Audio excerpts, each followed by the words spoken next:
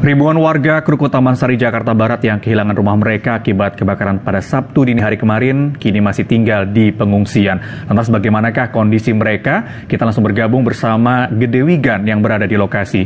Wigan. Jati dan saudara inilah kondisi terkini dari salah satu lokasi kebakaran yang terjadi kemarin di Krukut, Jakarta Barat dan saya sedang melaporkan di sekitar dapur umum yang terjadi ataupun yang dibuat secara swadaya oleh masyarakat uh, di sekitar sini yang terdampak uh, dari kebakaran di Krukut, Jakarta Barat. Ada satu hal yang bisa kami ambil bahwa walaupun masyarakat di sini sedang menderita musibah ataupun menerima musibah tetapi masyarakat di sini masih secara semangat mereka ingin meli, melipur lara mereka dengan saling tertawa, saling semangat dan saling canda tawa. Ya Bu ya, masih semangat Bu ya?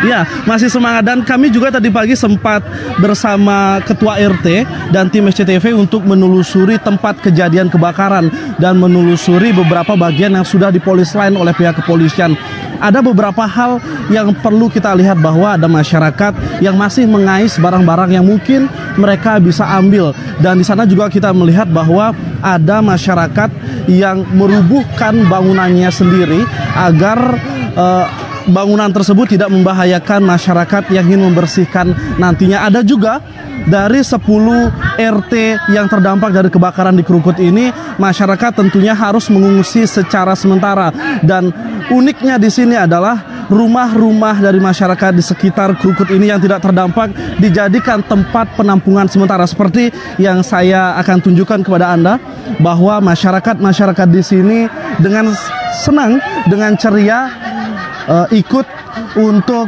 uh, menjadikan sementara ataupun ingin beristirahat sementara mereka tidak merasa sedih walaupun adanya kecelakaan ataupun adanya peristiwa seperti ini.